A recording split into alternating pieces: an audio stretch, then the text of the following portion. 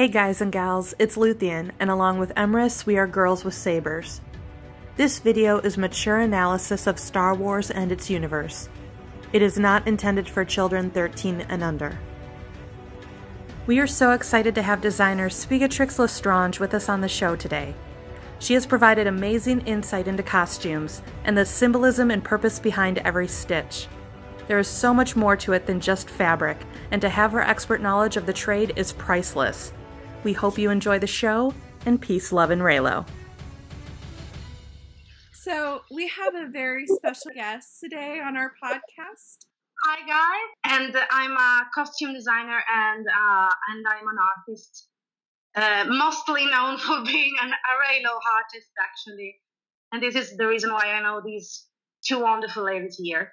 And in case you didn't know, I'm Italian, as my accent can tell. How long have you been uh, in the costume business? So I started as a LARPer, live action role player, in uh, 2009, and then I actually started a small business here in Sicily with uh, so, sewing costume for LARPers.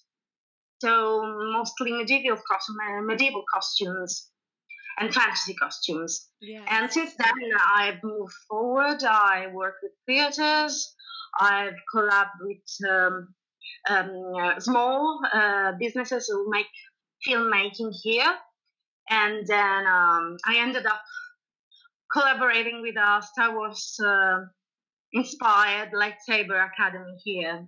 Um, you're also a performer at the Lightsaber Yeah. Academy. Yeah. What role do you normally take? Do you prefer Sith or Jedi? Oh, well. Since I've been like 10 or 11 years old, uh, I've been uh, Sith through and through, like literally. I know I was a precocious child, but I've always been a big fan of the dark side in general. Like, You own it, which is Yeah. great. I love that. Yes. Yeah. And the Sith have so they have much cooler clothes than the Jedi. Yeah. Like, Yeah. you can't go wrong wearing black. Yeah. I mean, It goes with everything. Yeah. Their lightsabers are cooler. yeah, Their names are cooler. cooler. so true.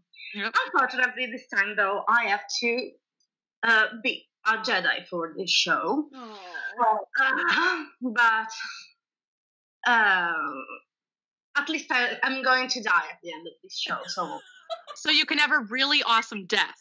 yeah, I I like- literally die by being split in two by a sword. Oh. So That's good way awesome. Yeah.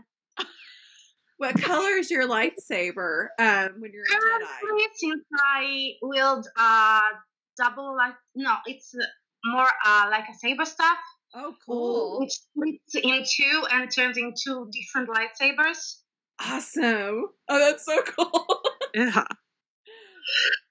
I, I uh, currently my lightsaber as a Jedi is yellow, mostly because uh, the first Jedi came to my mind talking about light double lightsabers or saber staff is Bastila yeah. from the Republic, and she has a yellow lightsaber. So I at least went with something that I slightly appreciated. Yes. I, I mean, Revan is far better than that, but we have to, to settle at some point. So We're we're Darth Revan girls, so we yeah, Yes, we agree. I can't wait for uh Revan and Bastila to come more into the forefront. I hope they do. Uh Knights of the Old Republic coming Yeah, coming out. So then people will understand Reylo.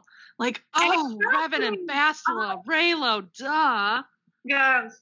I mean, I don't want to be too much all over the place, but let's be honest. The first thing I, I thought when I saw the last teaser trailer was like, oh my god, they're going full Bastila, going dark. Okay, Yeah. okay, we're going there. Okay, So we wanted to talk to you about the evolution of Kylo Yeah. Ren and Rey's costuming from The Force Awakens all the way through The Rise of Skywalker. So let's start with arguably our favorite of the pairing. Can you talk to us about Kylo Ren um, slash Ben Solo's costume uh, and what you see historically that they're referencing? Okay. Yeah. Uh, so basically, a little premise. I by studying, is studying costume design, I also studied history of costume and uh, history of fashion. So there are patterns that are usually constant in fashion and costuming, even in the um, in the film industry, especially in the film industry, even in science fiction and stuff, yeah. which is not supposed to be related with uh, Earth history, but we all, as I'm being really pretentious right now, I was about to say, we all, as costume artists, no, I'm way as costume artists, actually professional costume artists, are any anyway influenced by the society and their studies. So we'll we'll all will see purposely or unpurposely some references. So um, the first thing I, am not I don't know if it's going to be a popular opinion, but the first time we saw Kylo in uh, Force Awakens, it's pretty clear that he is basically cosplaying or trying to cosplay his grandfather. Mm-hmm. Poor, poor honey. Uh, he's really trying to be someone else. I'm trying not to go full Reylo on this as well. Um, you can go ahead. Yeah, release the Reylo beast. um, because of course we have this um, the portrayal of this character on all of his insecurities, and we know. I'm sorry, my sewing machine decided to fall on the table. Okay, um, I'm like, Vader is is like a firm point in his reality. He's one of his rare certainties. Mm-hmm. So it's clear that he needs to um, absorb that kind of security to hmm. him. And costuming is a way of storytelling, as I say once to one of you a few months ago. Yeah. And that costume is exactly that. He is, doesn't know what he is, yeah. but he is certain or what, at least at that point, or what he wants to be. And he wants to be what his grandfather was to the empire. So we have the long tunic, which covered the legs, which is typically Vader. Uh, we have the whole mask. The mask is the most obvious and clear sign of that, of course. And the, the fact that Johnson decided to smash the mask at the, the beginning of the the, first, the, the of the Last Jedi is a clear sign it's clear language that shows the struggle of trying to understand the inner nature of this character despite the preconceived notions about himself. Yeah. So we have this very theatrical and dramatic costume at the beginning, in which uh, Kylo shows up without showing anything of himself. So we don't have an inch, a single inch of skin outside, just like his grandfather. Mm-hmm. Like he's trying to not even look human, not not even look relatable, Yeah. and being basically a machine.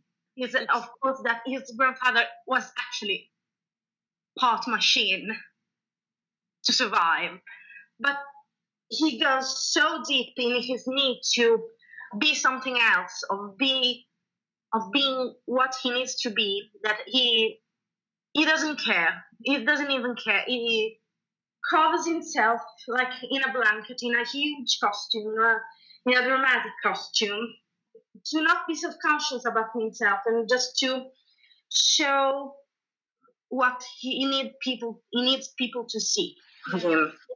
I, I read something, I believe, in the, the visual dictionary for Force Mm-hmm. Awakens that the cowl that they put him in was literally strangling the light like suffocating the light that is within him. Um, do you think he was also channeling the royalty of his grandmother in the cowl that he wears in the Force Well, um, the hood that he wears uh, uh, with the little uh, mantle on his shoulders actually is very, very similar to uh, the same that Amidala wears in this episode two. Yes. In, um, um, I think it's the um, arena scene, the arena scene when they end up fighting. Yes. Uh, yes. Yeah. So I don't know if it is accidental or I don't think it's totally accidental. I mean, uh, but it also works in two different ways because mostly for one reason. Uh, that particular piece of outfit in Amidala works in the opposite in the opposite way because for her standards, that one is a very simple and a very clean and mm, let's say poor piece of outfit considering her usual way of dressing. Yes. Instead, um, in Kylo, it helps. It's also a bit a bit rugged if you notice in Kylo. It, it makes his figure even more large, even more heavy. Yeah. So, and also reminds me of uh, Revan's hood.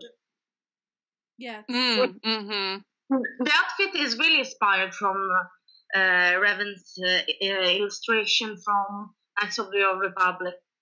Yeah. Even the mask has very similar lines, if you remember. On um Kylo's mask, they they used chrome as the metal. Is there Yeah. any significance in that that particular choice of element?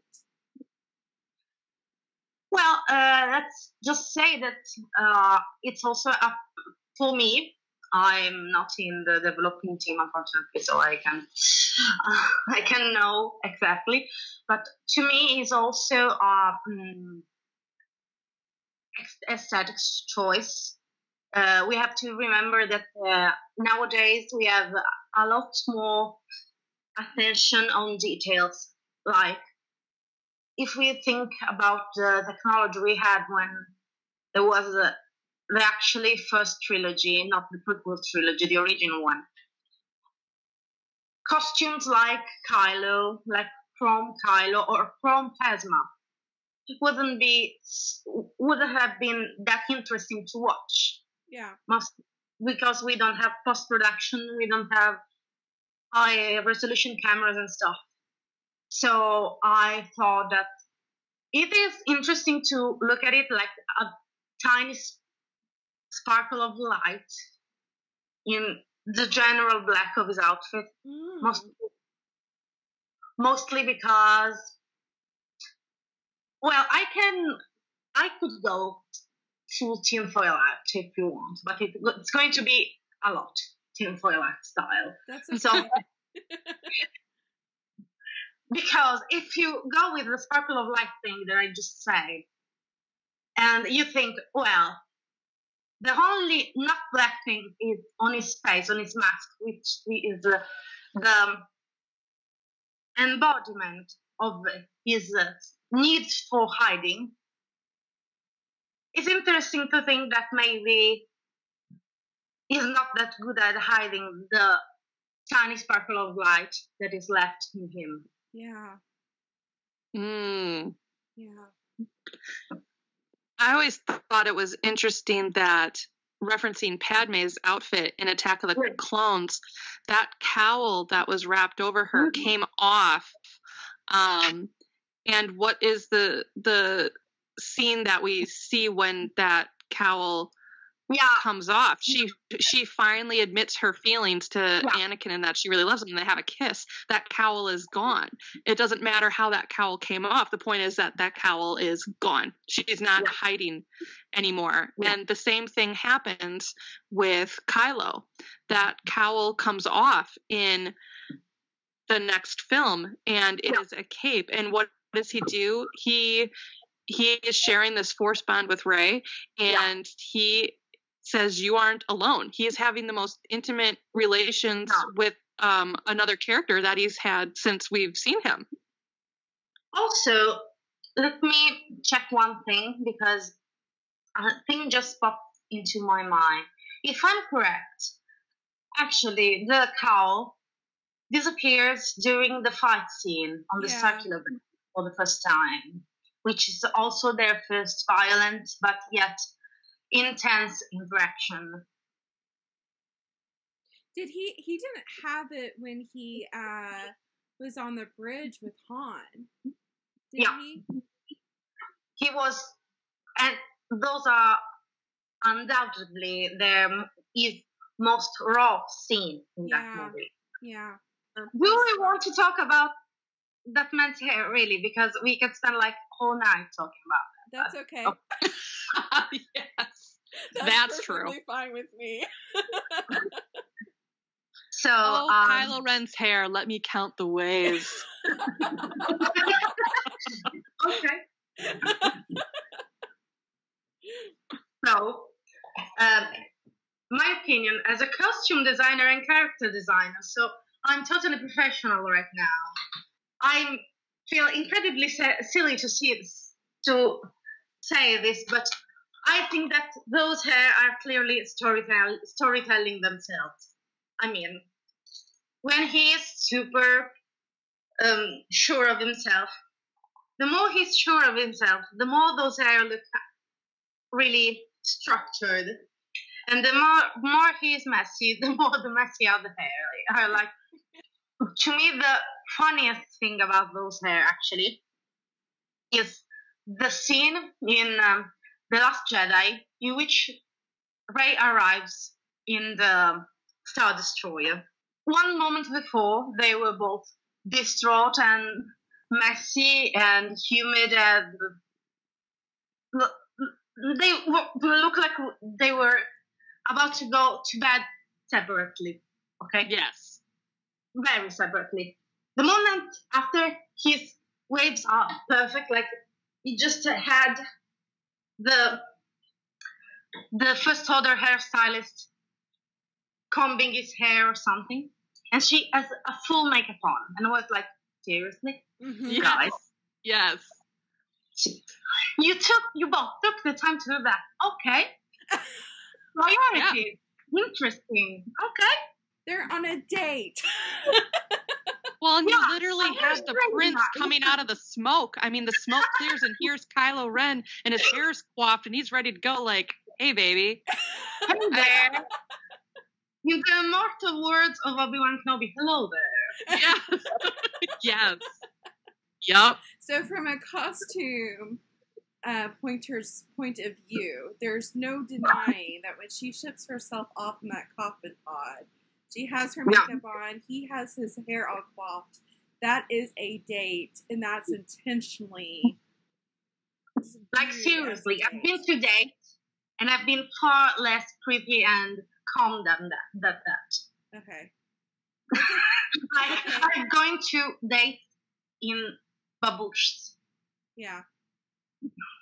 and they took the time to look all pretty and and cute for the other during the war, and I was like, hmm, that's some effort. Okay. Yeah. Yes, they put in effort. Exactly. Um, you talked about how in the Last Jedi, he Yeah. is not wearing just a mantle. He's actually No. wearing Right. the the padding that The a padding, yeah. wears between his uh, mantle and his armor. No, It's like the actual cushion. Could you talk Yeah. about that a little bit? Oh yeah, sure. Well, um, there's a particular piece of uh, medieval clothing male clothing, which is called gambeson. Gambeson was this peculiar jacket, long jacket. Usually, it went to the knees. Um, it's it's actually a padded jacket, which was supposed to alleviate the discomfort of wearing a metal armor. So it looks very like what Kylo is wearing in The Last Jedi. Uh, also, the stripes, which keeps the padding together, are very similar to actual medieval motifs that you can see in uh, various gambesons. And the interesting part, actually, which made my mind go wild as as usual, because mm. I'm not an overthinker at all. Um, he turned aesthetically into full knight. He was to if called more a knight in the first movie, but he looks more like a knight in the second one. Yeah. Mm-hmm. Uh, I also know because I've read a few interviews and stuff that actually Driver required to tone down a bit the um, costume for practical reason because he feel, felt very uncom- uncomfortable fighting in all of that. Yeah.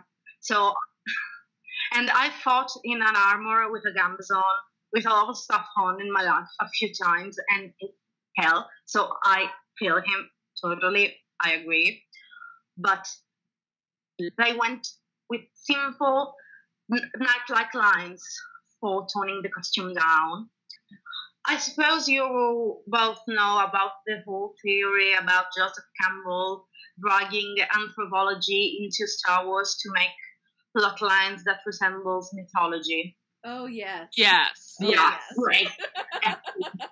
We're a little familiar. Great. Thank you. I can talk to no one about this. We're here My for you. My friends are just death by all this stuff. We're here for you. Thank you.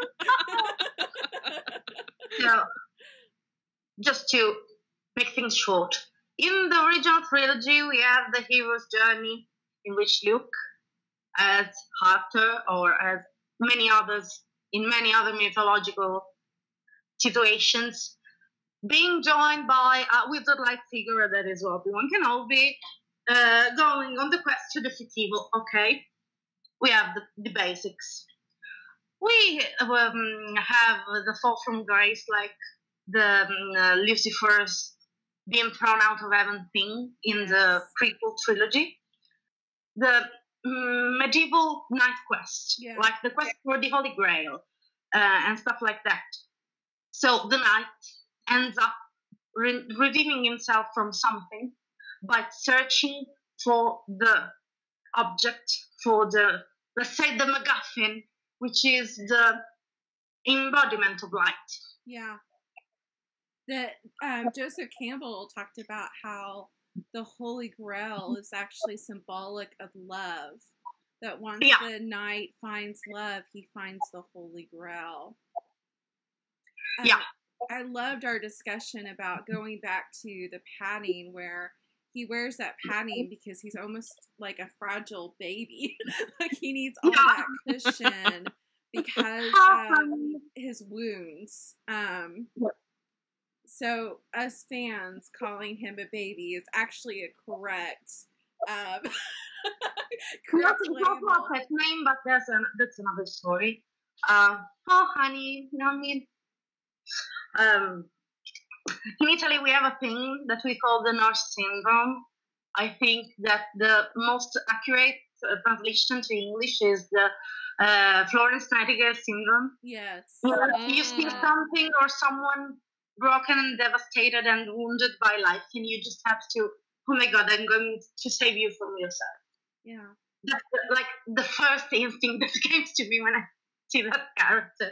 Yeah. No matter like six foot three, murderous giant or something. baby who must be protected. yeah, Well, look at what Rey does. She finds out what what happened uh, at the Jedi Temple, and she holds his hand, and she sees what she sees, and boom, she's off. She is going, and she's going to save him. I'll help you. So she gets exactly what what I mean. I mean, Mhm. cool. And their interaction is really interesting because they actually, mm, even if there was there are a few differences between the book and the, actu- the novelization and the actual movie, um, I noticed at least that their interactions is kept very pure and very blurred. It- I mean, there's romance, but people can also see in their affection without romance. Yeah. Mhm. Like kindred spirits finding themselves uh, courtly love in the medieval times, Yes. like medieval mythology. The touch of a hand or the the dame handing a tiny string of her hair or, or something like that to the knight was a symbol of affection that wa- went beyond the romance. Yeah. Also, because usually the dame or the lady was not mm, available for a romantic interaction back then. So it's so it will be interesting to see how where th- this is going to go. I mean, of course, I am for the full cheesy final with a ton of babies and all of that. But I try to actually keep my expectations as low as possible, or I'm gonna leave this kind of like roaring and shouting myself into the sun.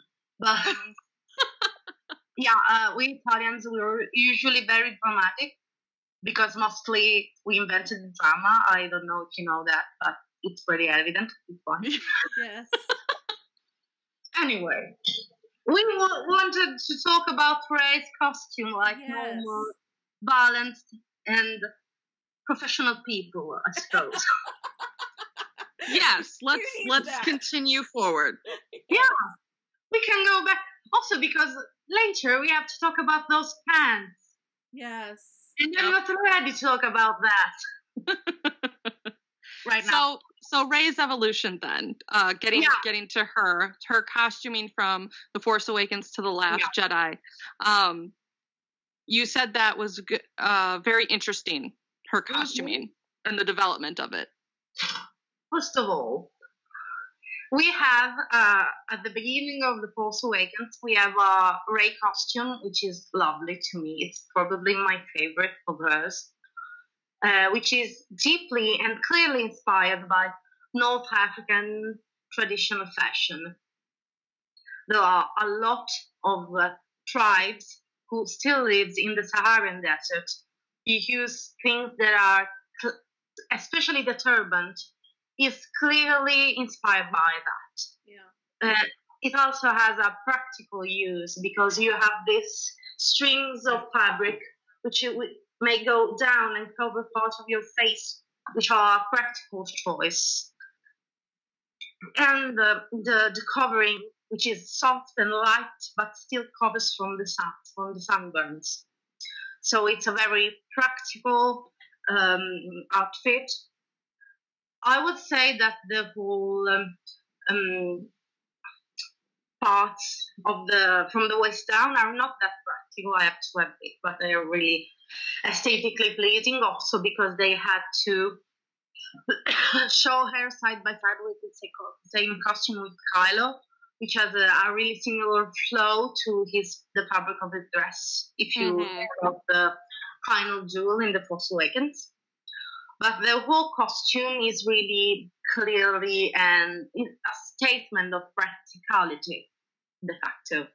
So you have um, things to cover you from the sun, uh, the belt with all the stuff that make you uh, be practical if you need uh, items, if you need the tools and stuff.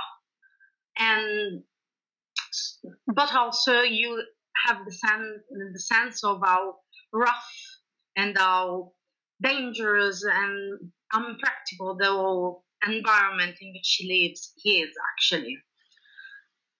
And then after that, you go from the unpolished and a bit raw outfit that she wears in the first play, in the first part to the she playing a let's say to me it's my opinion of course a bit of dressing up.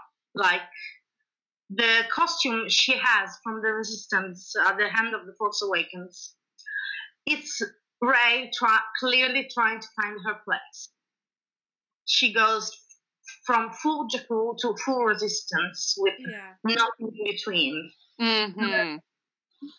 so please uh, it's like a statement like please i want this place to be my place in the universe basically Yes. She's literally wearing their clothing. Like she Yes. takes it from the base. And it, it looks very it looks much more masculine to me than her her garb in the Force Awakens. It's like that Yes. that vest and um, also i'm sorry um, it's also more military like if you Yes. think about it it's like the it resembles a bit the um, except for the small jacket the, the gilet it's like very similar to a uh, po- um, to Poe's uniform when he's not on the the X-wing. Yes. Hmm, yeah. Yes. So it's like a, s- a clear, evident statement of her trying to fit in in the place she thinks she's supposed to be. While Wow, that's really interesting. Yeah. Um, when you are at the Force Awakens and she finally wears the, uh, let's call it the um, throne room outfit, it's between the two of them. Because you have um, resistance co- colors, like the gray of her jacket is now also in her tunic, sharp, clear lines like you have in the resistance outfit, but also you have the long, um, soft um, portions of fabric, which are proper to her Jakku outfit. yes. So, so she is actually exploring between the two. And to me, her interaction with Kylo helps her define herself Mm, a bit more. Also because her colors go a bit darker, which I appreciate for obvious reason. Uh, but also her going dark and contrasting with the, the very light grey of the soft part of her, of her outfit is far more mm, contrast and nuanced compared to the previous outfits. So it's like an evolution. And I'm Really, really curious to see the mm, the rise of the Skywalker costumes. Mostly because right now we've seen only two, which are the full white of the beginning of the, which we have seen since the first trailer, which is a bit extreme to my opinion. It's like, to me, that costume says, "Hey, I gave you my trust. I allowed you to tempt me to the dark side, or at least meet me in between. But then you basically decide the career of a feeling. So you know what? All right, I've made my choice. See you. Mm. yeah. Pure white. What, what do you think the significance of Rey wearing the hood is with that costume? As mm, I mean, it could be like Kylo wearing a hood at, at this point, only reversed. Like I am now, I am the one putting a barrier between me and the outside world. Yeah. Do I've made my choice, and uh, you you tem- tempted. Uh, I use tempt as a word. I don't know if it's the right one. My, you make me doubt my position, but your final, let's say, betrayal. Uh, Rey surely perceived that as betrayal, I guess.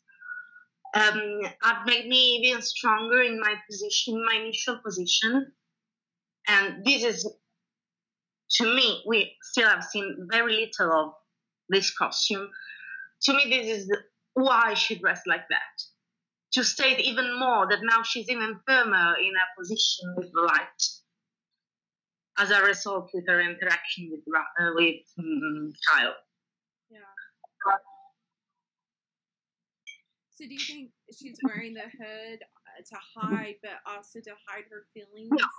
from of Ben? Just uh, more detached, I guess. Okay. Okay. So yeah, that's amazing.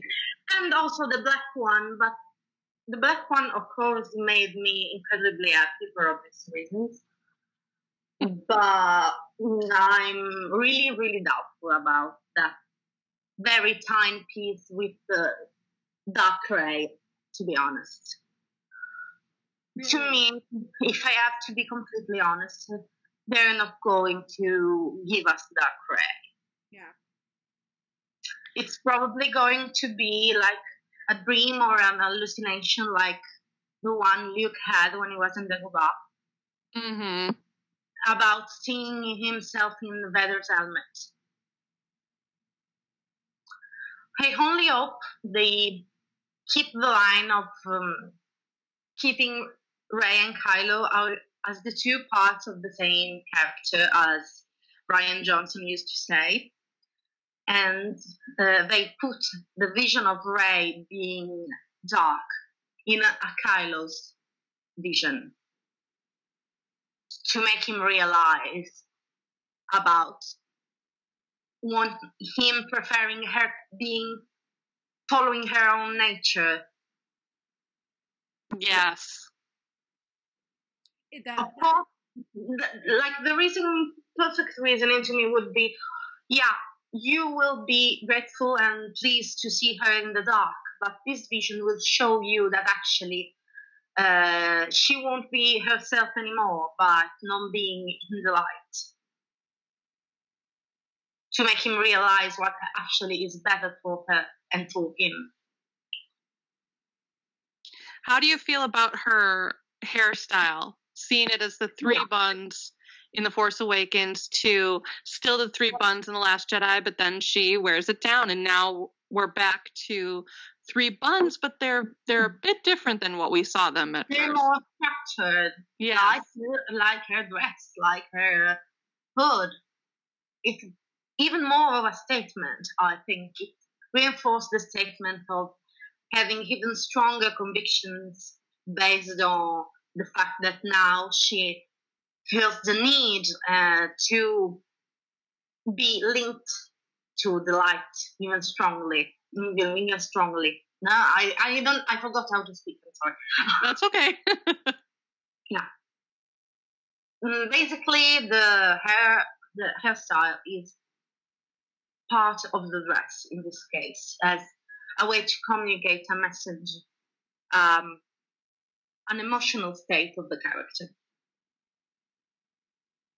Very well, going from uh immature, almost pigtail like yeah hairstyle, the one she was left with as a, chi- as a child. So yeah when yeah. her quote unquote parents come back, they recognize her, but she's stuck in that state, that childlike state and mentality. And then, of course, she meets the soon to be love interest, and her hair comes down. It's very Padme and Leia when they finally have, have Mhm. fallen in, in love. The hair is down, their inhibitions are a bit more gone. But now her conviction is there, but these buns, they're all connected, they're structured, they're they're perfect for you know. it's like she's holding to what she knows of herself and trying to be stronger on her strong on what she sees as her strong points Mm-hmm. also the you make me think of the thing that um, actually, the wear down, the, the wearing the hair down thing, it's very ancient and very radicated, at least in European history. Mm-hmm. Mostly because since medieval times, even something before, like probably uh, around Roman times, um, you as a woman were supposed to cover your hair with wigs or with bales or stuff. Mm-hmm. Uh, mostly as a form of modesty. It is not the case, like luckily, but uh, when you were in a state of intimacy with someone, like your husband, your family, you were allowed to show your hair because it was the natural thing to do to show yourself uh, as naturally as possible to your loved ones. Mm-hmm. And the fact that Padme does that, Leia does that, and Rey partially does that too. It's interesting to say, to notice. Actually, I, I didn't think about that. Yeah, it it's it's interest. It'll be interesting to see. Obviously, there's the very uh, practical Yeah, way sure. of wearing the hair, keeping it out of your face, but also the fact that we need scenes with with Leia, and it needs to harken back to how her hair kind of was in that film, more to be more to to work in these scenes with with the the sh- the shots that they have. Um, but I, it'll be interesting to see if we see her hair down again at some point and how how it comes down. Um, will be will be interesting to see. I, I truly feel we've only seen in these clips, we've only seen the first quarter of this film. yeah. Uh, I don't know. Actually, probably we. The fact is, we are seeing a lot, a very lot of Rey, but we're Mhm. very little of Kylo. Yes. That makes me think that there is a lot of screen time in which Kylo is Yes. is going to be very different from the way we are used to see him. What I love in all the the clips that we've seen, we have Mhm. not seen one where his mask is on, but yet in all the promo and the new posters and yada yada yada, he always has the mask on, which makes me wonder if that's actually him. to me it's ve- eh. I'm sorry. It's okay. We Italian we, we, we make very strange noises sometimes. Uh, like oh, you're. You're very loud. We are very loud people, especially in the south, and I'm the southwest of them. Um, which is not even correct probably, but okay, you get that. Um, so um, yeah, it's a very interesting point of view. uh, I didn't think about. Also, because in the very tiny scene in which you see the mask being repaired, you don't see him repair, actually repairing it. Yes. But you, we have se- we've also seen.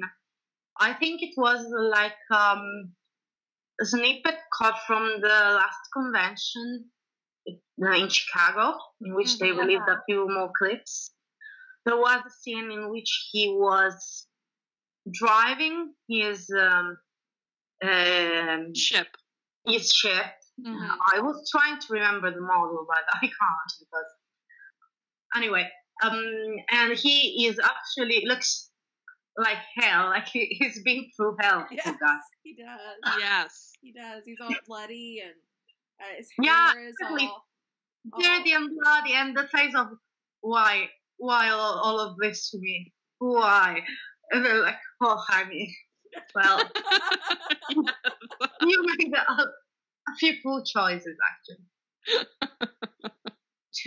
My probably most unpopular opinion ever. We have to talk about those pants. yes. Yeah. Yeah.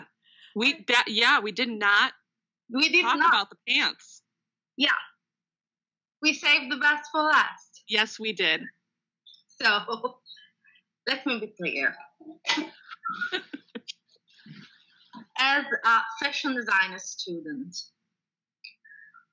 those pants, for the way they are tailored, the way they're designed, are the wrongest thing never happened to a male body in history of fashion. I agree with that. Thank Um, you. I Thank have you no- so. I have no professional bearing on fashion or clothes, but that made 100% sense to me. Yeah. Thank Yeah. you. Thank You're you. welcome. Yeah. Yeah. I So- agree too. You have an actor, a performer like Adam Driver, which is thick as hell in a good, very good way. Don't mind me. I, Yeah. I'm not complaining at Right. all. He is a big man, a tall man with a very large to- torso. If you put, and my, I can speak for experience because my boyfriend in real life is actually with that body structure, only with less gym, unfortunately. Okay. So okay. I from ex- direct experience Yes. Yes. Yes. if you put him in a very high-waisted pants, you're going to make him look like he like he really, really, really needs to cut off carbs and stuff. Right. Yes. Right. I agree. So mean, there was no there was no um symbolism behind that that costume choice except possibly he's covering uh he- it's also probably wrapped with a bandage around where Chewie shot him with the bowcaster. well, but at that, at that point, it would have been better to show us the bandage. Oh, Yeah. truth. Yeah. Truth. It will be. it will have made him even more vulnerable. and Mhm. interesting to see in that scene. But those fans are like embarrassing. Well, it didn't And- do it. It didn't do him any favors. It didn't. Uh, I know, you know, he was supposed to be topless from the the waist up to signify that they can Yeah. see each other. That Yeah, exactly. you know, yes. is, even in Italy, when where Adam Driver is not considered a particularly attractive man, I was at at the movies and people actually squealed a little around me when he that was up. worldwide, Like global. Yes. there was like this typical telenovela squeal, like, Yes. and I was like, Yes. Uh, the the typical of, well, I think he at least has the body thing. And, and I was like, I- I couldn't even enjoy that. I was like, those fans, what did they do to you? Poor baby. Again, it all comes back. Poor poor baby, again. The whole scene is trying to act, act really confident, really uh, forward. He's uh, imposing, is aware of being imposing in a position of dominance because she is uncomfortable seeing him like Mhm. And uh, the fact that he would have shown himself that way, even with the scar, would have been even a stronger concept to show. But no, we had to go with those pants for some reason. the fact is, they lose a chance to me, Yeah. You, you, to be honest. I think the pants made it a bit more Ridiculous. is the word. ridiculous, yes, and comedic than than it Yeah. should have been. That that the intention was, uh, which is which is which is a shame. Um, yeah, that scene feels to me like okay we need to make the woman in the um, in the audience interested but at the same time we don't have to scare the children off. So very started with- for the way he dresses in that scene i was like he was wearing black, uh, white socks and sandals i wouldn't be surprised at this point socks and sandals. On that note, Socks and. And. I mean, I don't mean to be rude, but guy, it's hard on Driver. It's really hard to make him look silly. I mean, Yeah. he's a six foot two, six foot three, I, I can't remember, man who was in the Marines. Yes. Who has hands like shovels. And you managed Yes. to make him silly. Yes. They managed to make him look silly in that moment. Yeah. We agree. So, Yeah. poor, poor baby again. Yes. Oh, poor baby. I can't wait to see him in this film, though. I mean, we only have seen him in his, you know, cape and his regular garb, but I do want moments where he has to possibly dress like someone in the resistance, maybe. I mean, let's change up. The thing is, the to me, and this is a total tinfoil theory, so don't mind my words too much. But to me, the fact that we are seeing so much Rey and so little of him, it's it's very intentional. Yes. Mhm. Because probably it's going to have a lot of screen time, as I say, dressed very differently from what we expected him to wear. Yes. I Yes, agree. I agree. Very interesting to me. Some things cannot be forgiven or forgotten, like those Yeah. pants. Rey should Anyway. say that. Rey should say, "I forgive you, but not for the pants." No. the first thing there she's go- ever going to give to him would be size appropriate pants, I Yeah. suppose. I I hope so. Me too. I would. It was Yeah. a huge pleasure and it was so fun. Thank you so much for having me, girls. It was amazing. It was it was awesome and really really insightful. I mean, there are some things I already knew about the costuming and what it means uh, for a character, but it was so interesting to hear all of this. Yeah. Um, Yeah. Really, really wonderful to have you on. you were so much fun, and Thank thank you you. for doing this. Uh, may the force be with you. Yes. Thank you. And remember that the dark side has cookies, so you're always uh, welcome to join us on this side whenever you want. Yes, you had me at cookies Yeah. Do you also have uh, and lasagna. Hello, this is Emrys, and with Luthien, thank you so much for watching this video. We hope you enjoyed it.